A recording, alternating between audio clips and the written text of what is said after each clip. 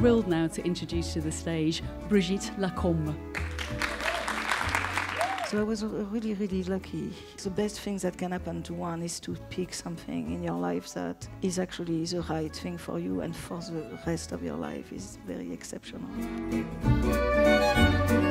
بدي اسال تقنيا تستعمل ديجيتال حاليا ولا بعدها بتستخدم النيجاتيف مثل زمان I go back and forth. I mean, of course, you have to use digital, and I love digital too.